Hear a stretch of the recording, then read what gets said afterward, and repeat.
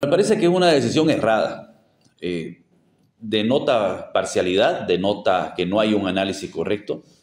Eh, no sé si por falta de información o porque de verdad están parcializados, pero aquí todos conocemos de que el gobernador no recibía en un determinado momento, no sé si hoy lo está haciendo, la medicina como corresponde. Hemos escuchado por la familia y los abogados de que no recibe la atención médica necesaria, adecuada en el momento que corresponde. Entonces, desde todo punto de vista, sus derechos están siendo vulnerados. Y no sé, reitero, eh, si es parcialidad o falta de información, pero la CIDH ha fallado en contra.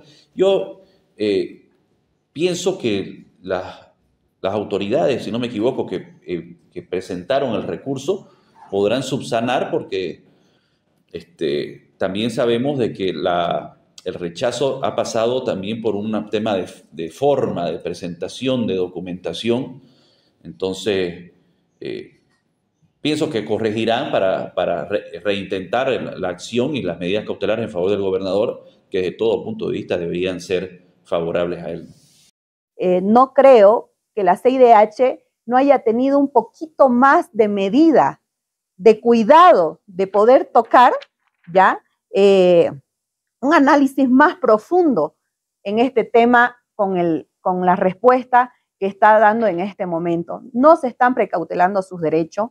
Lamentamos muchísimo desde Creemos y yo como persona y como diputada nacional lamento mucho la forma de que se está tratando este caso de una autoridad que está siendo secuestrada, que no está siendo en este momento sentenciada, que se están haciendo las investigaciones y en este momento simplemente se le están vulnerando todos sus derechos, su salud, su gestión y todo lo que conviene y conlleva al, gobernador Luis Fernando Camacho. Entonces, este, me pregunto yo, ¿qué pasa con los presos políticos que están en este momento perseguidos, apresados, y con las instituciones y con las plataformas y todo ciudadano que no piensa igual que el movimiento al socialismo? Lamentamos mucho desde Bolivia, Santa Cruz, que la CIDH haya tomado esta medida sin que haya tenido un análisis más exhaustivo de aquí, desde el momento que lo apresaron a nuestro gobernador,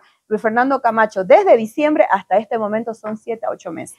Nosotros estamos viendo que vamos a tomar otras medidas a otros organismos internacionales donde sí, sinceramente, puedan precautelar los derechos y la vida de los presos políticos, de la vida de las personas y es importante de que en este momento ellos tomen conciencia de lo que están haciendo y que no se parcialicen de ninguna forma.